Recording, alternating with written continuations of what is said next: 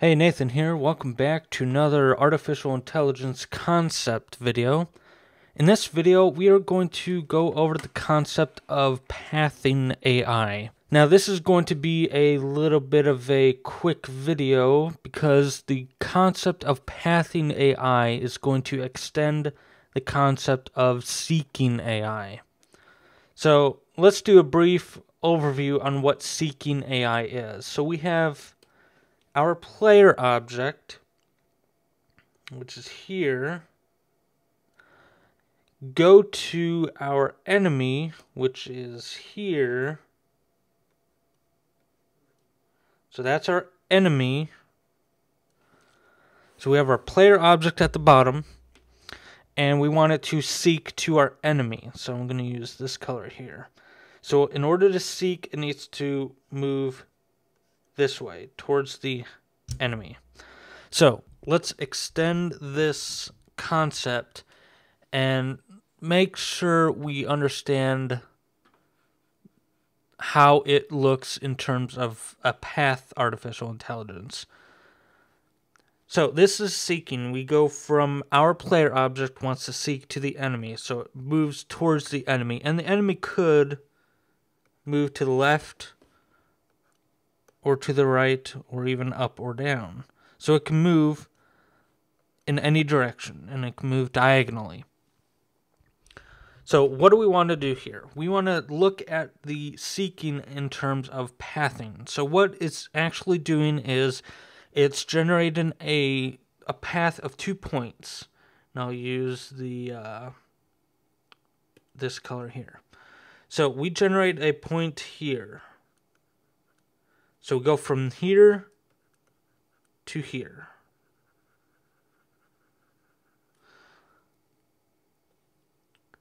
So it's generating two points for the path. So we go from here to here. So that is what seeking is. Okay, so now let's discuss pathing. So we already determined that seeking is essentially creating two points of a path. We go from our current position, which is point 0, to the enemy's position, which is point 1. That's essentially a path, and we just seek. So what we want to do now is to discuss the concept of actual pathing. So we have our player, again, our player is going to be here and we want the player to travel. Uh, I'll use this color here. So our player is there. So that's essentially the first point. I'm going to put the first point above the player just so you can see what it looks like. But it would be where the player is already. It would be at the center point of this dot. But I'm just putting that up there because putting that above the player, you won't see the player and it will look odd. Okay, so a path.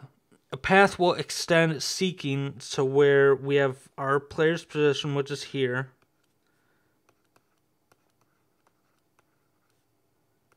Player's position. So that's our player's position. So we want to go around in a path let's say this point.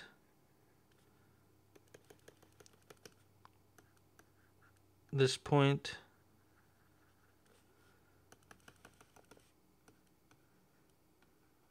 This point.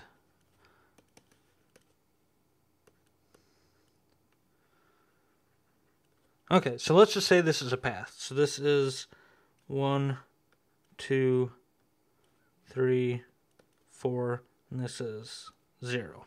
So 0 is the player's position. So we generate a path as you see here. So essentially we need to seek, I'm going to use this color here, uh, seek to next position. So we're at 0 and then we need to seek to 1. So we need to seek to next uh, point in array or list or whatever you want to use. So I'll put that there. Just some kind of array or list or anything, a collection of any kind where you have these points. So that is point one. So we're at zero. We need to seek to one. All right, when we're at one, seek to two. And so on and so on. When we're at four, stop. If end of path. Okay. So we have a path set up. We drop our player's object here. And we have a path set up. So we go from our player's position 1 to 0. We seek to 1 as shown here. So we seek here. When we're at 1, when we're within a certain distance, within some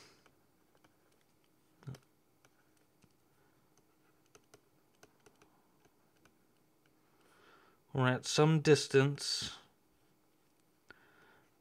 mark to where we are at 1. Okay. So when we move to 0 to 1, when we want to say we are at 1, so within some distance, we need to mark it where we're, we are at 1.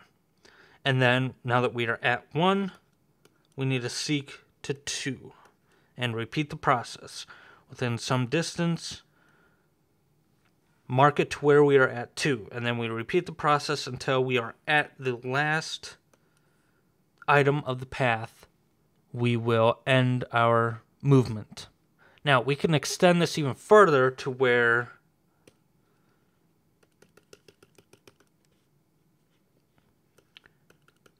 if path AI is set to loop go back to 0. So if we set up our path AI to be loopable, it will repeat the process. So when it gets to the end, it will go back to the first one, which is index 0. So when we, we are at 4, if it's looping, we will go back to 0. If it's not looping, if end path and not not looping.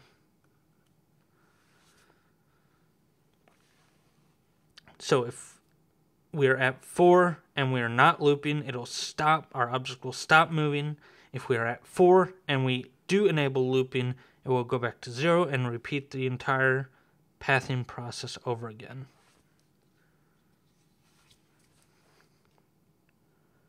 So this is the basic concept of pathing artificial intelligence.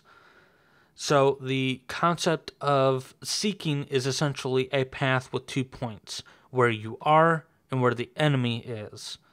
So that is technically a path AI. So we are just going to extend. So let me create a new layer here. And I'm going to go to black, make another new layer. So let me write this down here.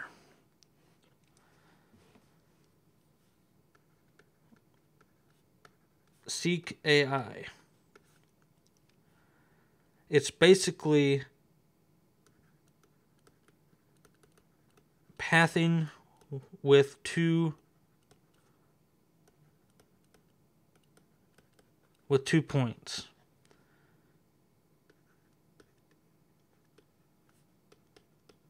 Player position and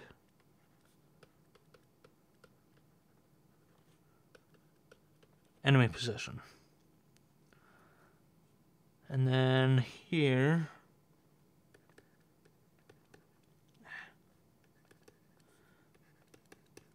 path AI seek from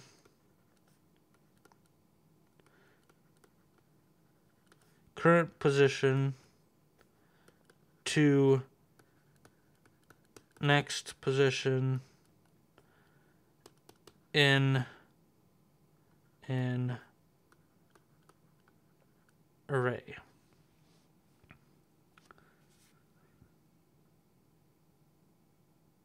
So that is essentially what path AI is. We seek from our current position to the next position in array.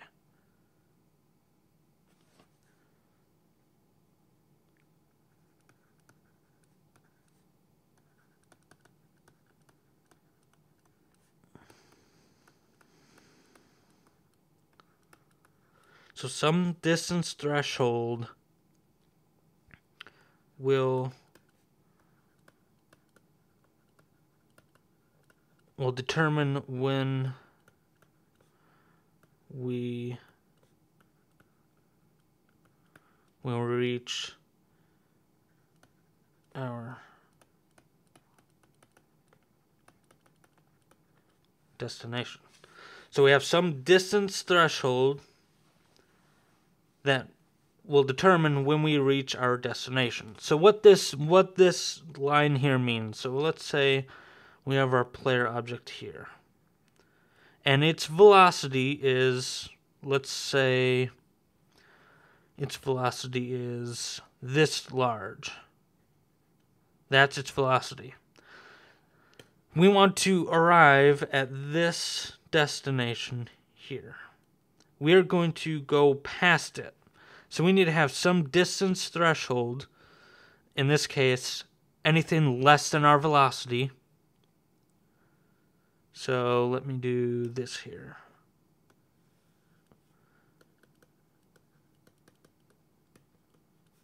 Typically less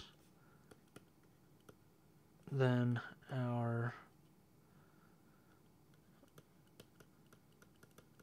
velocity, speed.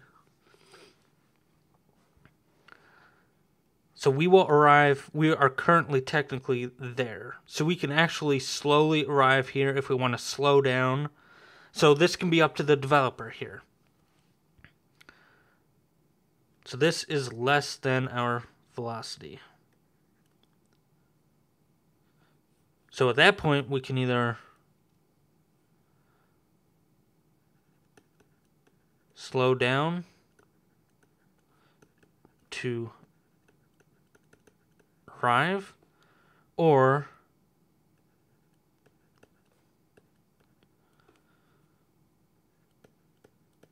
just put the object on the on the point.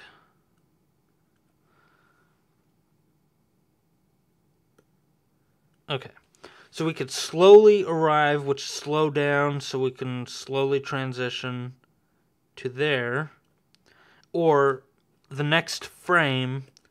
So this is the current frame. Our next frame will be.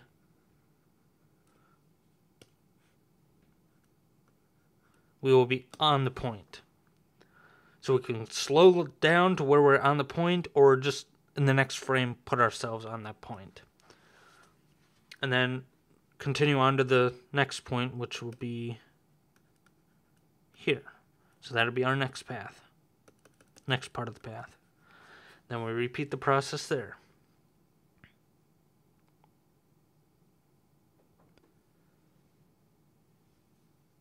All right, so that was it for this video. Uh, it's been a couple months. Well, actually, uh, I think March was the last time I released a video, so it's been a very long time. So this is the concept of path AI. We're going to seek from our current position to the next position in an array. Then we're going to have some distance threshold to determine when we reach our position. Once we are at that position, we will go to the next position in the array, repeat the process, seek from our current position to the next position in the array. Alright, so that is it for this video. I hope you enjoyed it. Stay tuned for the next video in another few weeks.